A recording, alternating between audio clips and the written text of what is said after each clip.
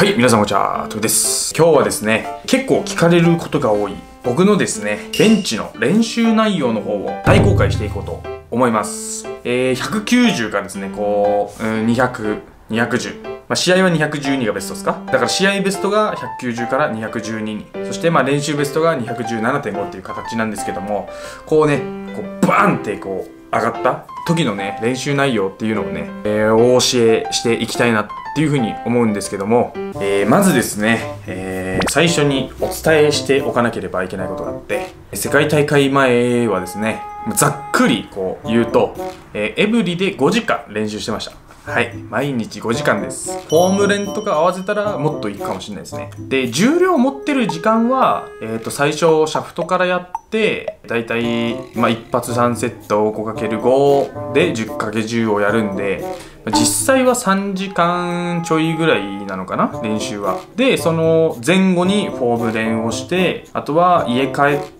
まあ、柔軟プラスフォーム練をするので、まあ、うん、全部合わせたらもっといくかもしれないですけど、大体まあ5時間ぐらいかなっていう感じです。まあ、その重量がね、えー、積み重なっていくと、もっとね、休憩時間とかも長くなっちゃうので、そんぐらいいっちゃうのかなっていう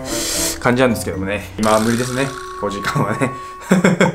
っていう感じなんですけども、まあ今もあった通り、僕の練習メニューっていうか、僕は基本固定にしてて、え練習メニューを。なので、もう1年間ぐらいずっとこのメニューをずっと固定です。じゃあ説明します。まず、一発3セット。はい。で、えー、5×5 セット。で、えー、10発10セット。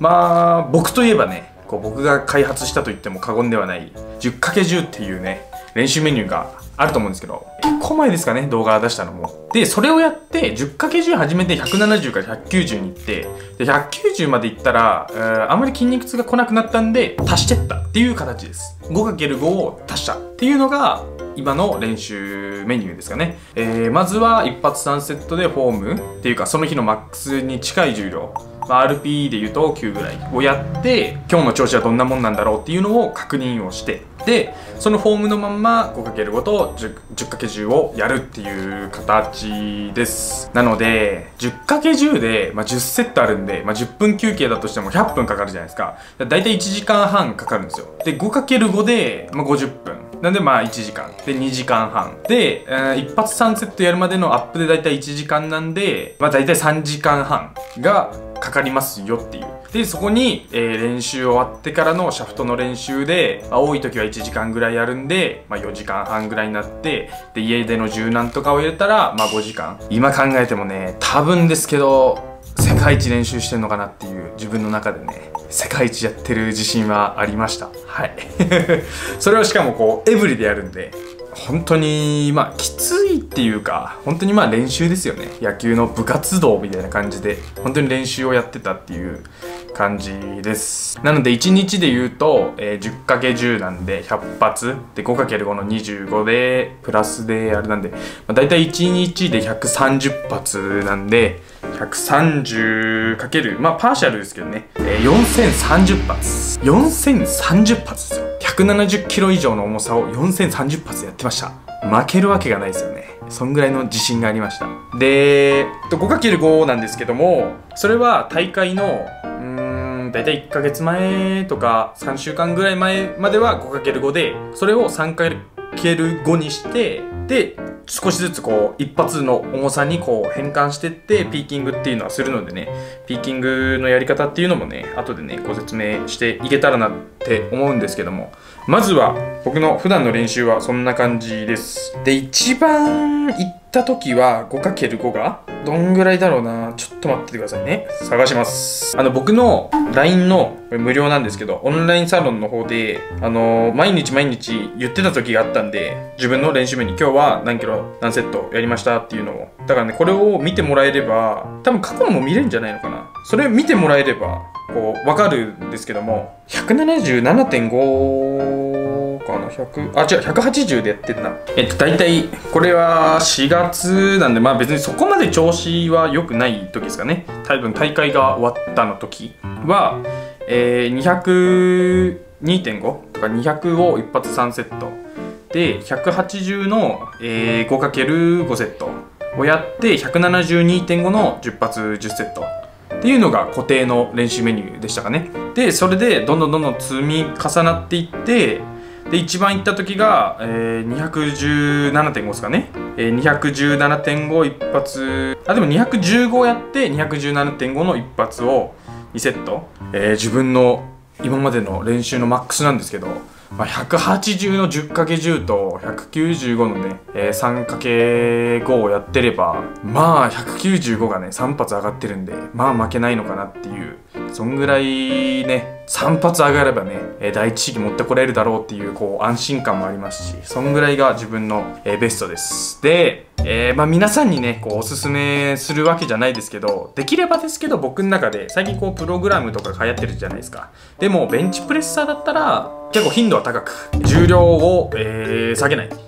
らこうブレがある練習っていうの僕はあんまり好きじゃないんで、下げないっていうのと、あとは潰れない。潰れたらね、もう上限が見えちゃうので、あと最初はこう低めの重量設定で、え、どんどんどんどん上げていくっていう練習メニューがね、僕はいいのかなと思ってるので、だから僕もずっと固定です。もう本当にこれしか僕はやってないです。だからこう、こういう練習したら強くなりますっていう動画ね、たくさん撮りたいんですけども、まあ僕自身やってないことをね、こう動画にするのはあんまり良くないのかなと思うんで、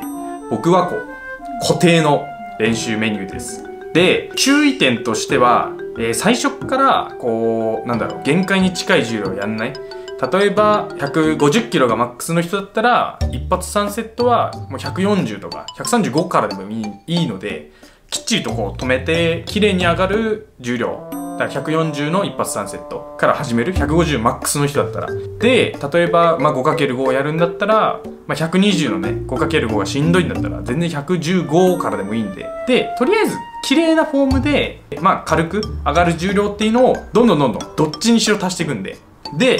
10×10 と同じ。まず完璧にこなせました。まあ、僕はエブリなんでその次の日も完璧にこなせました。ってなったら、えー、どれかを2.5足す。例えば、2日間クリアしました。って言ったら、5×5 の重量を1.25足して、で、その重量もまた2日間。できたら、次は 5×5 じゃない 10×10 を2.5足して、で、またクリアしたら、次は一発の重量を2.5足して。っていう風に、どんどんどんどん少しずつこう足していくっていう感じになるので、ちょっとあゆとくんから電話来たんで、ちょっと待ってくださいね。はい。はい、お電話が終わりました。今日はね東京パワーみたいでね、えー、なんか時録を挑戦するんで見といてくださいっていう、えー、行きたかったですけどね東京パワーね。本当に申し訳ないです。ちょっと娘もいるんでね。行けずに、えー、どこまで話したっけな。えー、っていう感じですかね。僕の練習メニューは。はいとりあえずは。この僕みたいに一発3セット 5×510×10 っていうのはなかなか厳しいと思うのでセット数を変えるなり、まあ、10×5 にしてあとは 5×3 とかでもいいですしそれでね自分でねこう正直伸びりゃ何だっていいんでう